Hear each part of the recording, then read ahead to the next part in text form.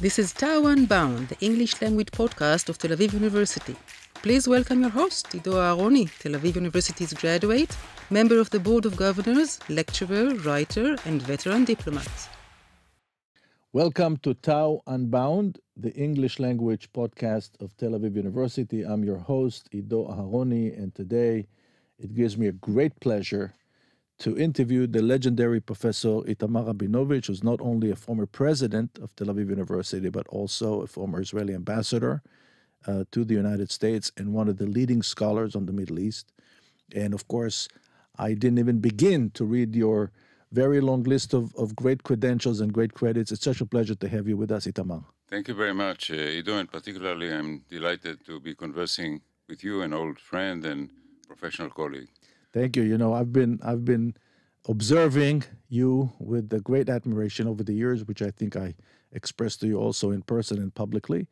And I'm very curious before we begin with your academic and professional career, because this is the podcast of Tel Aviv University, and you've been here from almost the beginning. Tell us a bit about, you know, today we see this campus and we take it for granted. You know, what was here when you first came to Tel Aviv University? Um, not much. Um, the, the law faculty, which uh, had been actually uh, passed over from the uh, extension of the Hebrew University, the building of the sciences, and the Gilman building.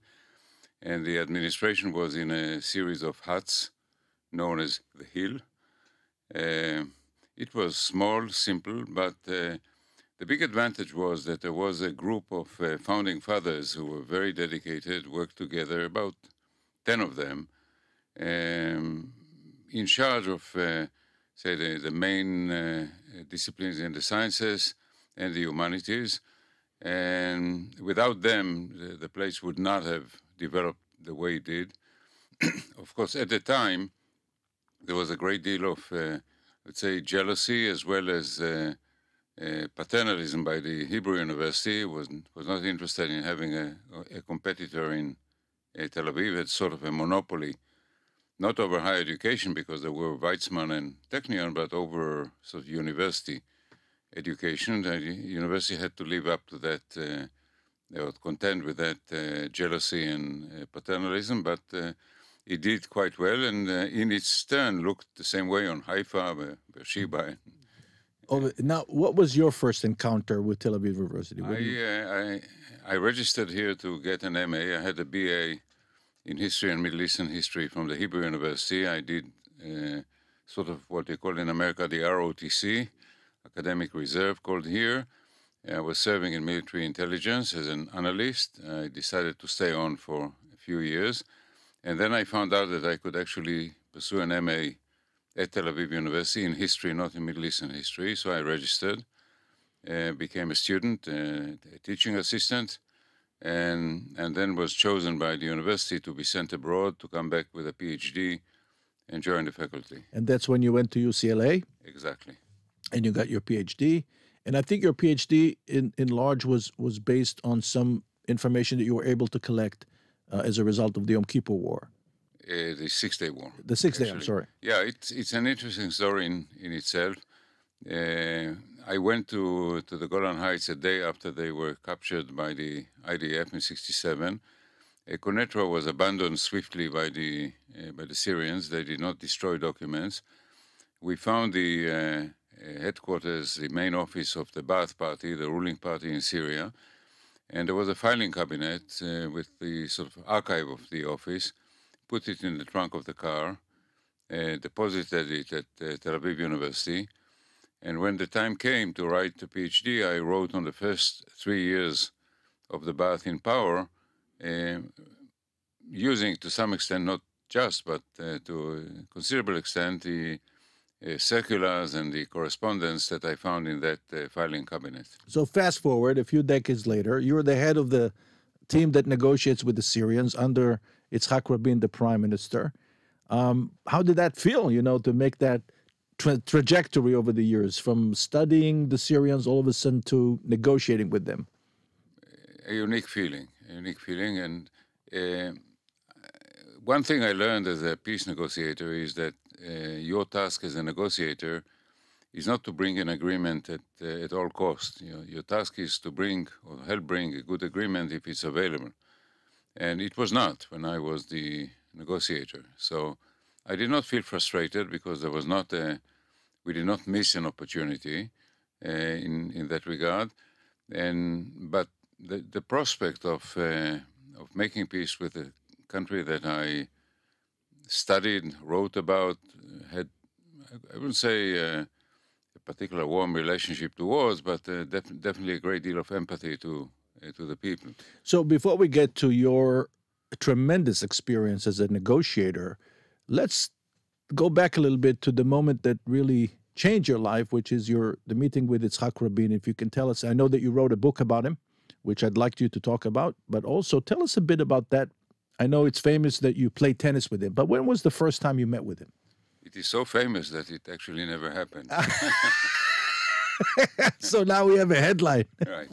we never we never played uh, we never played tennis uh, together, but we we had a professional and, and social relationship. I wouldn't call it a friendship, acquaint more of an acquaintance, to some extent professional, to some extent social. We, they used to invite us, we used to invite them, and uh, it began when I was a young officer and he was chief of staff, and I was sent to to brief the chief of staff. In those days, the IDF two was a smaller and more intimate uh, place, and a lieutenant could be called upon to to brief the chief of staff. Um, so uh, we we knew each other. We became friendly, and when he be, was elected for a second uh, term to be or second opportunity to be prime minister uh, in 1992, uh, he invited me for a meeting, um, which was a, a, a very unique uh, recruitment experience. And so we sat in. He was not never great on small talk, so sat down in his uh, study, and he said, uh, "The thing that uh, presses me uh, most is I need to replace the chief negotiator with Syria." And he said, "Can you think of somebody who has some public standing and uh, knows the subject matter?" well, it was a bit, it was a bit awkward. I realized that he didn't want to get a negative answer, and so he didn't offer it directly. But it was awkward to recommend. Said, "I know, yes, I, I know myself." So I said, "Well, I know a couple of names, maybe." And he said, "I'm not interested in a couple of names." I said, "In that case, I'd be very happy to do it." And he smiled and he said, "Oh, I'm so delighted." And uh, there began a, not just a professional relationship, but uh, really a friendship that became quite close uh, in a matter of weeks and months. And um, working with him was a unique privilege. And and I must say uh, again, observing you, you were extremely effective as an ambassador uh, in in in Washington um, because everybody knew that he trusted you so much. And yeah, it's uh, you know as, as you know from your own service in America, the Americans in general and Washington people in particular uh, are very practical, and Washington wants to know whether the ambassador in Washington is the prime minister's man, the channel to the prime minister. If he or she is, then you know, fine, we'll work through the ambassador. And if he or she is not, then you know you can go to cocktail parties. now, just out of curiosity, where was the story about the tennis born? Because I've heard it so many times. Well, He was an avid tennis player, and I was an avid tennis player, but we never played together. So Actually, people- yeah, during during the years of my tenure, uh, on one occasion I played with Leah, his uh, uh, his wife. Yeah, Okay, so that that was probably the how the story was born. Probably some uh, publicist, uh, whatever. the yeah. creative mind of a publicist. Yeah. So, so you say there was no deal to be made with the Syrians. Uh, what do you think is going to happen with the Israeli-Syrian relations? Because fundamental things have changed since then, right? There was a civil war. There's a complete social and political change in Israel. What do you think is going to happen with that ties? Let me qualify uh, my earlier statement to some extent. In uh, August 1993, uh, just a few days before Oslo was announced, uh, Rabin uh, had a meeting with Secretary of State Christopher, uh, attended as well by Dennis Ross and myself as note takers. And Christopher came to Israel and he was to go to Syria the next day, and Rabin gave him what is, has since been known as the deposit. Right. Um, it was uh, Rabin said to him, "Tomorrow, when you go to Damascus, ask Assad if he gets what he wants, will he give me what I want?" This is known as the hypothetical question technique, used sometimes to break a deadlock in negotiation. What was the deadlock? The deadlock was that Assad refused to elaborate on what he means by peace before he gets a commitment uh, to full withdrawal from the Golan. And our position was you don't begin a negotiation with the bottom line. We don't say it won't happen, but it, you need to get there uh, through a certain route. So it was deadlocked. Rabin was not comfortable with Oslo, and therefore he made a last-ditch effort to see whether a deal could be made with Syria. So he gave Christopher the deposit willingness to withdraw from the Golan, basically to uh, replicate the deal that Menachem Begin had, had made with uh, Sadat. And then he said to him two things. First of all, this is very secretive, and if, if it comes out, it doesn't exist. And secondly, he said, it's in your pocket, don't put it on the table. And unfortunately, Christopher did put it on the table, and Assad immediately began the uh, haggling. Uh, Rabin said withdrawal in five years, he said six months. Rabin said he wanted security regime in the Golan. He said, no, we are the victim, we are not the aggressor, the Israelis are the aggressor, blah, blah, blah. So when Christopher came back and he said, Assad agrees, but Rabin understood that there was no swift way to uh, to do it. On top of that, he asked Christopher, "So how long are you staying in the region?" And Christopher said to Rabin, "Oh, we are leaving tonight. It's August. It's vacation time." So Rabin went to Oslo. So he, he understood yeah. that now, this was not a top priority. Yeah, for the present, it's it's it's not a viable option. You know, I, I won't make a prediction for the next 20 years, but right now and for the immediate future, it's not on the table. To begin with, Syria is not a real state now. Uh, it's a failed state. Uh, Assad controls maybe 60% of his country. He's under the boot of the Russians and the Iranians. And he, you know, he's a, a mass murderer. The Israeli public, against withdrawal from the Golan in any event, would not allow an Israeli government to give back the Golan or most of it to a mass murderer. So now uh, I must ask you a question about this because um, I've heard it from several people. Do you remember 2013? President then Barack Obama makes a promise, a public promise, that if it will be proven to him that Assad used chemical weapons against his own people, that's a red line as far as America is concerned. Is there going to be military repercussions? And then, of course, when it's proven to him, he didn't really do it. Do you think that was a a, milestone in when you see what's happening today in our region, including Russia, Ukraine? Do you think that has any impact? Undoubtedly. Uh, actually, uh, I, I, published a book that I co-authored with a colleague uh, in 2020 uh, called uh, Syrian Requiem on the Syrian civil war. It is now being published uh, on paperback, and I, I suggested to the publisher that they advertise it as prelude to Ukraine.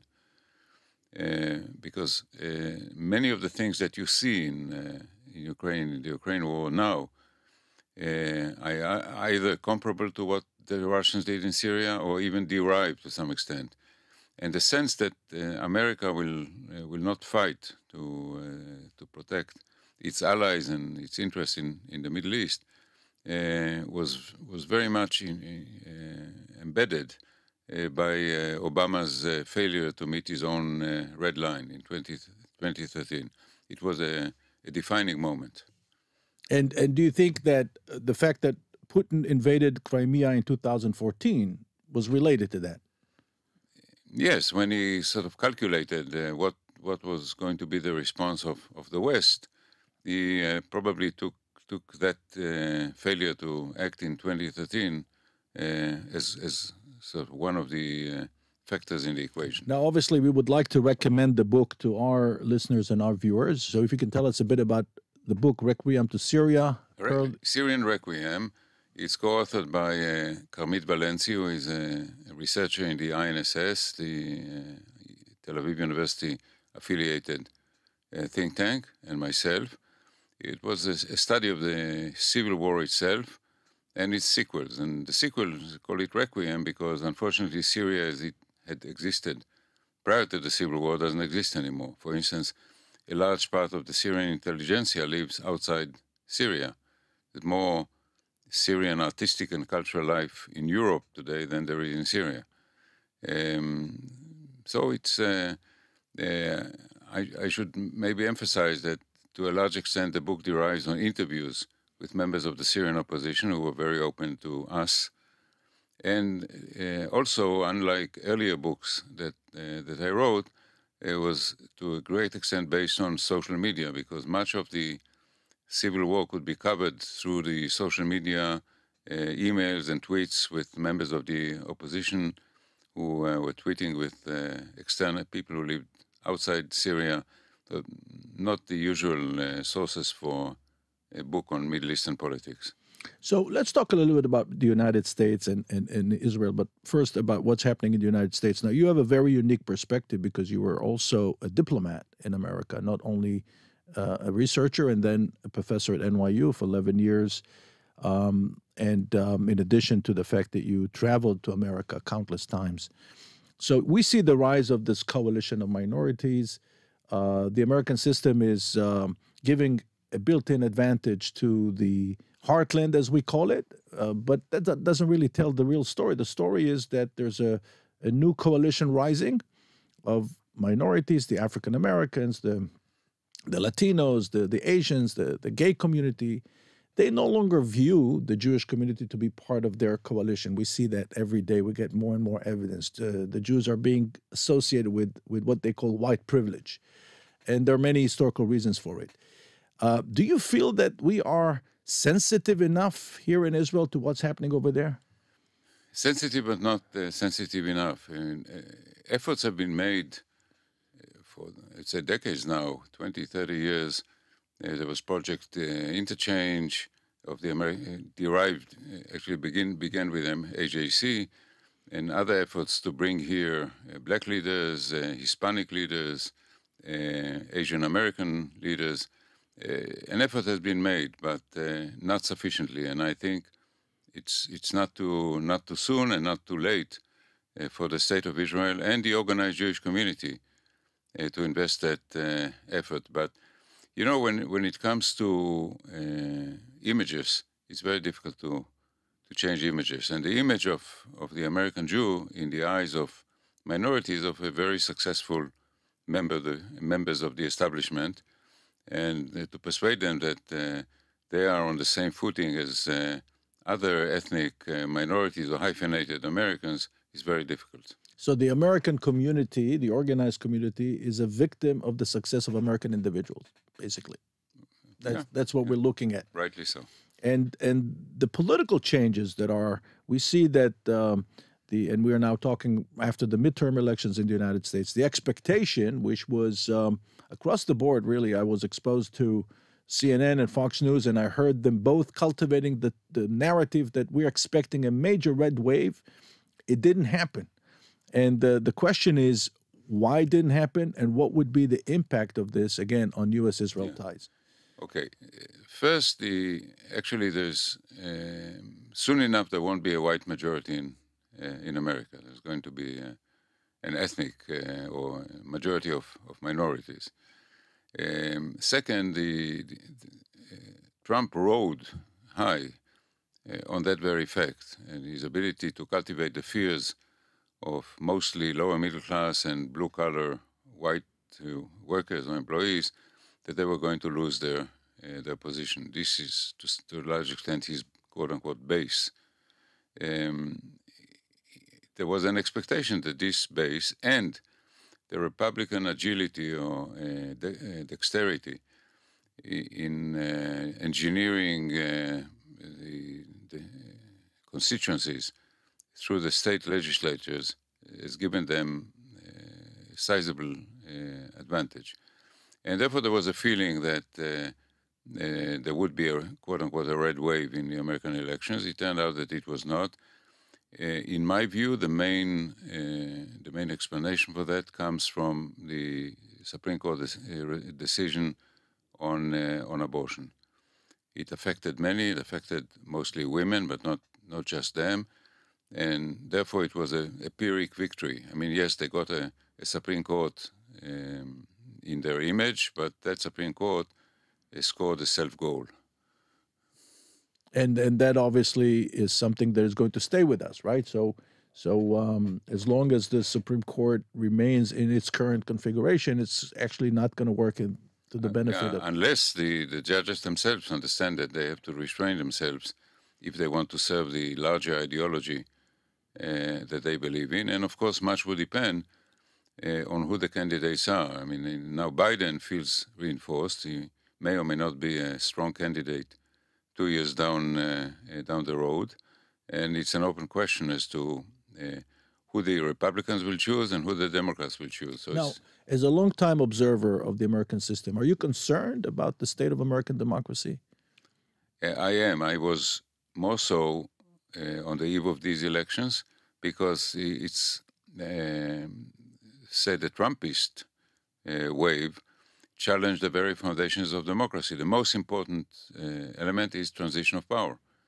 Uh, democracy is based on the fact that every so often the government changes hands, and Trump tried uh, to deny uh, the victory of his opponent and tried to stage on January 6th basically a, a, a coup. Uh, and he was trying to promote election deniers uh, for to be state officials in charge of the next uh, election. So it was an open offensive against American democracy. And the question is whether the system would be able to defend itself or not. I thought was the most important question on the international agenda because the future of American democracy very much is the future of democracy around the world, given that democracy is on the defensive in Europe, in Latin America, and, and so forth. And uh, therefore, the, uh, uh, the ability of the Democrats to regroup and to uh, check the red wave uh, was an important moment, not just domestically in America, but globally. Now, transitioning the, the this discussion and your observation from the United States to to Israel, I, I just came from the United States where people express expressed those deep concerns about Israeli democracy. They're concerned about what will happen due to the fact that there's some elements in the new what's going to be the new coalition that openly openly said that they're interested in undermining Israeli institutions. Uh, part and parcel with what we call Israelism in Hebrew, mamlachtiyut, statism. Um, what is your view of this? Do you do you are you also concerned about Israeli democracy? I am concerned. I'm not pessimistic, but I'm concerned. I think that uh, um, the, the first of all the uh, what you call the uh, the guardians, the authorities, the judges, the people in the legal system, uh, regulators uh, should should fight back if there are efforts to uh, undermine them, and public opinion should uh, should mobilize itself if uh, some of these uh, threats quite quite openly made. For instance, the attack of uh, uh, Mr. Smotrich on the security service and the absurd uh, charge by him that the security service uh, provoked uh, Rabin's assassination. Uh, you know, it's unacceptable. Uh, but you know, every fact has a counterfact, and uh, normally history unfolds in dialectical ways. And I'm sure that there will be a, a sort of a counter wave. Now, knowing you and your incredible level of energy, you must be planning your next project already. So what's what's in the in the pipeline for you? Well, I I finished a book. Uh, it's called um, Middle Eastern Maze: Israel, the Arabs, and the Region, 1948-2022. It will be published by uh, Brookings at the end of January. The next project is to promote this this book for uh, Well, I think you came to the right place. uh, one of them. we we are we are helping we are very happy to help you promote your books and uh, it's an opportunity also to express gratitude on behalf of all of us for everything that you've done for this university and for the state of israel in general Thank you very much. it's a pleasure to have you and i'm sure it's not the last time we we are meeting here in this podcast studio thank you so much professor my, my pleasure, Ido. See you soon. And to you our listeners and viewers um, i can't wait until our next episode bye bye This is Tau Unbound, the English language podcast of Tel Aviv University. Please welcome your host, Ido Aharoni, Tel Aviv University's graduate, member of the Board of Governors, lecturer, writer, and veteran diplomat.